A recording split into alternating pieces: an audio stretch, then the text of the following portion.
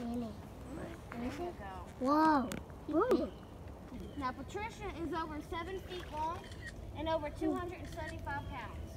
What? What did you say? Many She might not come out, y'all, but I'm gonna try, okay? When it starts getting cold like this, they're using that water to stay warm.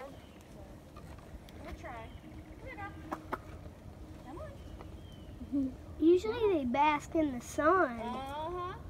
Well, it's cold out here, and that water is a lot warmer for her. Come on. Four plus three equals seven, right? 'Cause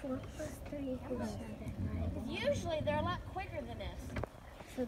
The fall and wintertime, they're really, really slow. Because right now, she I'm to, she can jump two to three feet in the air.